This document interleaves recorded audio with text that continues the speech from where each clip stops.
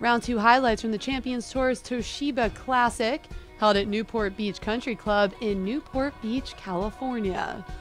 And we had a lot of action, a lot of low numbers on Saturday.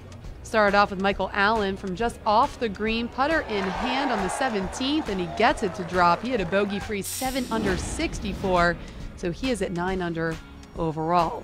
Over on the fourth, we'll pick up Billy Andrade on the par 3. This is his tee shot. Now he birdied the first, and then he does this on the fourth, a near ace. Instead, kicks that in for birdie. He put together a 3 under 68. He's 10 under overall, and it's high for 8. Steve Pate on the ninth, also from just off the green. These guys making it look really easy. Put together a 3 under 68 as well. He's 11 under overall, 4 off the lead with 18 holes to go.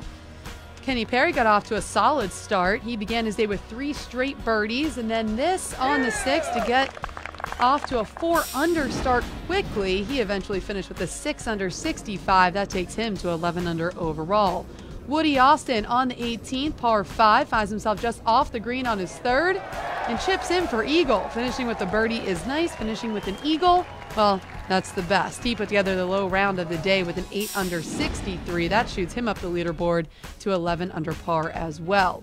Over to Fred Couples. Now remember, he came off that round 165 and he picked up right where he left off. Began his day 4 under on his first four holes. He makes that on 14 and puts together his second consecutive round of 65. So he's a 12 under overall in solo second, three off the lead of this man, Duffy Waldorf. He was the story all day, looking to become just the second Champions Tour player to card of 59. Now, he made the turn with a front nine 29, birdie 10, 11, that on 14. Then we pick him up on 16. So this for another birdie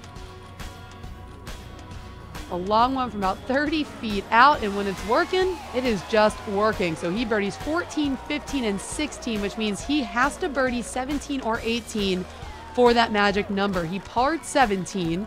So we picked Duffy Waldorf up on 18. At this point, he knows exactly what he has to do. This for a 59, he cannot get it to go. He instead settles for an 11 under 60 and a three shot lead.